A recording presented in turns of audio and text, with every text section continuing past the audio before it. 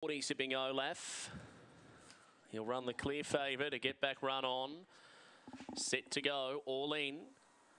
They're racing and Zipping Olaf missed the kick. That's pretty normal for him. Mystic Love, Mystic Kid won the jump and they're going to use the rail, go through and lead. Away quickly, Junior Pistol on the mint, Urana Muffin. Zipping Olaf now starting to get through, but he's got a bit to do and Magic Moonchild down the middle. Here comes Zipping Olaf. Look at that for a finish from near last to first. Zipping Olaf mows them down.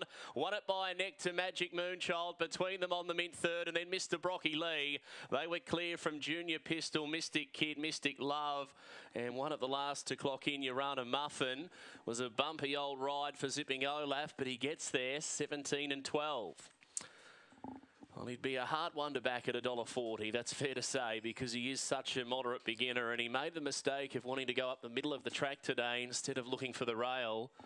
Almost brought himself unstuck, but Zipping Olaf, once he got some clean air, he cut back to the inside and he finished in trademarks.